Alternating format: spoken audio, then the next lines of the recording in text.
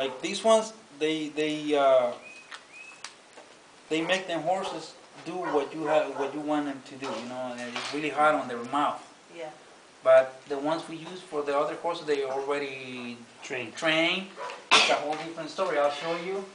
It's uh, it's a lot smaller, and you know, since tho- those are trained already, uh, when these guys are uh, done training, we're gonna put a different bed, kind of uh, medium size, but not not as big as those.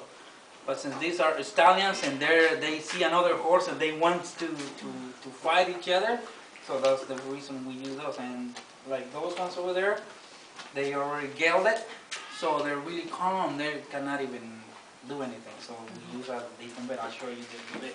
Let me bring it over. Oh, come over here. I'll show you the saddle too. The saddle.